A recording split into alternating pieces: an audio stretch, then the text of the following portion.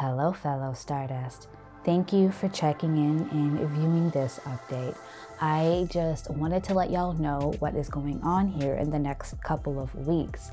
In a few of my previous reviews, I mentioned that I will be moving at the end of this month, which is basically right now. So I wanted to give you a heads up about some changes. Next week's review is going to be on Orphan. I am super excited for the prequel, mostly because I'm interested in seeing what they're gonna do to make Isabelle Fuhrman look like a child again.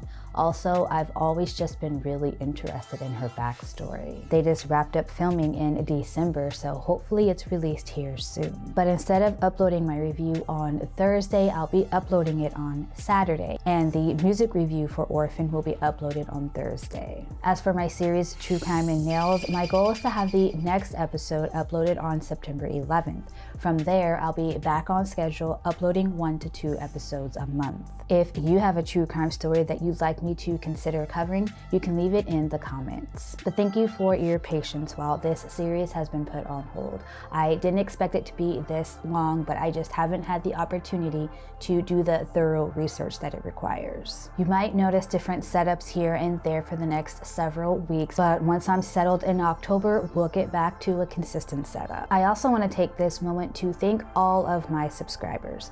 Most of you are anonymous and that's okay. Just know that even though I don't know who you are, I still appreciate you. And to everyone who has given me a shout out, shared one of my videos, left a comment, or liked a video, thank you so much for being a part of my grind. I'm lucky to have been able to connect with so many people who share an interest that many other people shy away from. It feels good to be a part of a community that is so passionate, diverse, and welcoming. Also, there are only four days left to vote for me for Horror Tuber of the Month. So if you haven't had the opportunity to vote for me yet, now's your chance. Just visit King Need Gore's nomination video and put my name in the comments. I'll leave a link for that video in the description and in the comments of this video. Thank you to everyone who has already voted.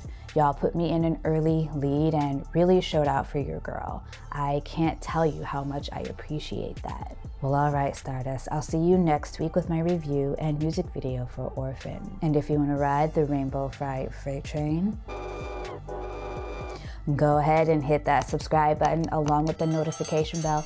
That way you'll get notified every time I upload a new video. Peace.